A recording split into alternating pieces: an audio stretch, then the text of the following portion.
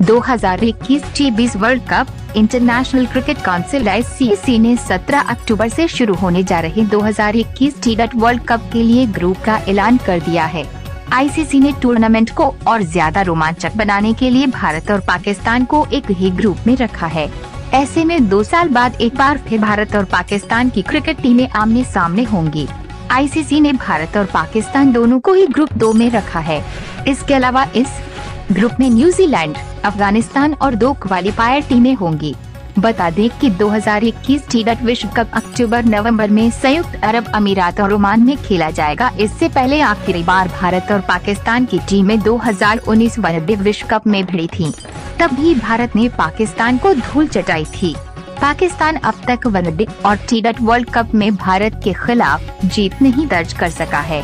पिछले T world cup में भारत और पाकिस्तान को एक ही ग्रुप में रखा गया था। हालाँकि उस वक्त ग्रुप में बी में इन दो टीमों के अलावा ऑस्ट्रेलिया और न्यूजीलैंड और बांग्लादेश भी थे। भारत और पाकिस्तान में क्रिकेट फैंस की बड़ी तादाद को देखते हुए आईसीसी ने एक बार फिर दोनों टीमों को एक ही ग्रुप में रखा है।